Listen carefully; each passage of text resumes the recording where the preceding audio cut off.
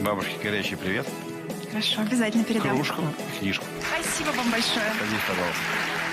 И я всем желаю здоровья и удачи.